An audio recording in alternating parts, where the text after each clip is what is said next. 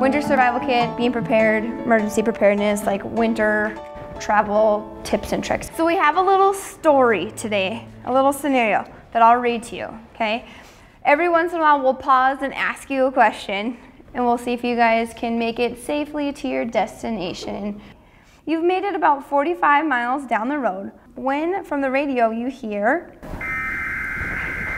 Winter storm watch for western North Dakota, including the following counties. What does a winter storm watch mean? Is it A, a winter storm event is expected within 12 to 36 hours? Is it B, a winter weather event is occurring and is imminent or has a very high probability of occurrence?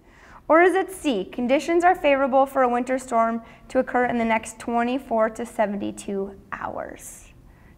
You guys all got it right. Woohoo! B is the correct answer. Yes, you always want to turn your wheel in the direction your back tires are sliding. I'm impressed. A, stay in the car. Perfect. Anytime you're in a situation like this, you want to really stay with the car, especially if there's a blizzard or a storm or something. Staying with the car is your safest option. You don't want to go walking out in the middle of a storm.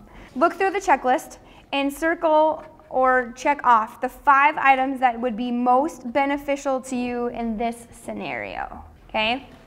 So for the kids, we have the brightly colored cloth. So that's just like a, a, flag down. You want to put it somewhere visible on your car if you're ever stranded, stuck in the ditch. Um, we have some little tea lights that you can use for warmth, say you are stranded for a significant amount of time. First aid kit, granola bars, water for obvious reasons. We've got hot hands and hot toes.